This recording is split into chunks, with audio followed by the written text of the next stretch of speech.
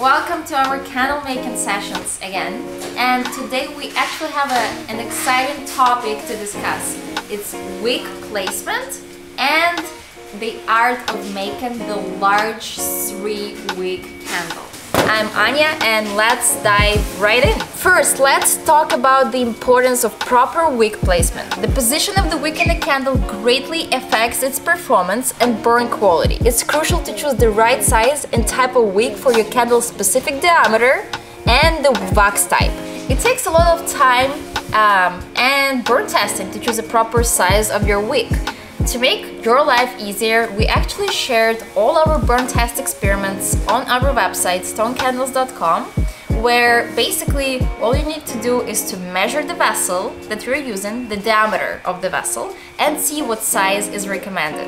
I'm just gonna show you an example. So say, you know, you have this large vessel that you would like to fill and you're figuring out your wicks. So first I'm just gonna take a ruler. It's actually five and a half inches and if I refer to our wick chart, five and a half requires uh, four number fives or three number sevens wicks and you can always check that information online as well. So here we decided to use four wicks. It basically just guarantees this nice and even burn for the candle.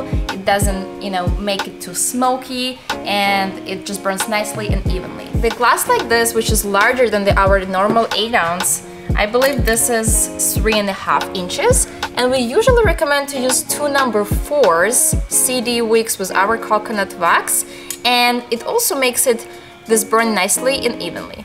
But the single wick placement is pretty simple. Usually the 3 inch across diameter, which is a standard 10 ounce glass that we have, we use number 7s or number 8s depending on how strong you want your candle to burn. So what about our stunning large 3 wick candles? They really make a statement, create beautiful ambience and when we're placing the wicks here, we just want to make sure that the distance between each wick and position um, is equal and centered. And I'm gonna make like a little triangle. Triangle will help me basically create this nice centered look and help this candle burn nicely and evenly. Cool, so the candle is ready um, and all we need to know is the formula now. So how much wax and fragrance we will require. So what we're gonna do now, we're gonna multiply the total fill, which is 50 ounce fill for this candle, by the fragrance percentage that we're gonna use, and it's gonna be 10% of fragrance is usually recommended for the three wick candles.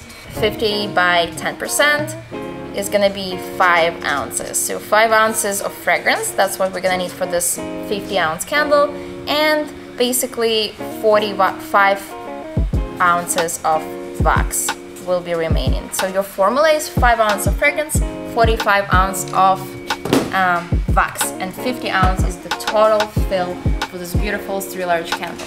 You can also melt your wax on the stove, on the hot plate, uh, we have this large uh, wax melter here, so that's what I'm using.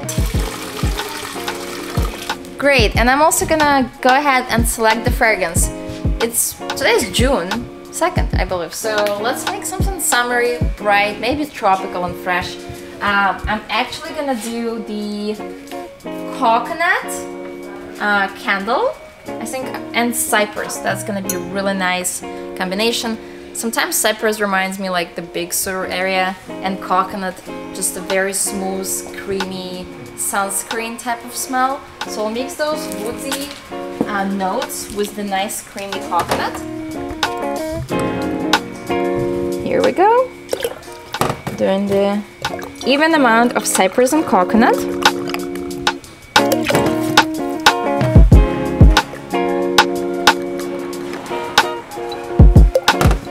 Smells wonderful.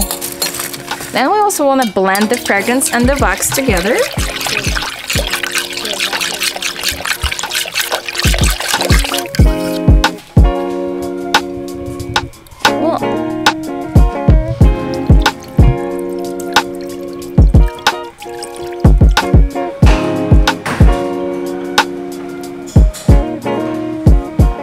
Beautiful. So I usually like to leave a little room um, maybe like a, an inch and a half from the top of the glass but if you want to make it a little higher, that is fine too. And at this point, we just want to leave this candle in a room temperature to dry and we will show you the final result. And here's our beautiful three wick candle. One of the last steps you want to do is to trim your wicks. And we also just added some fun glitter just to boost the mood here with the candle, but you don't necessarily have to. You can also decorate your candles with stones or crystals, but now it's ready to be um, enjoyed. Cool! Let's light this candle.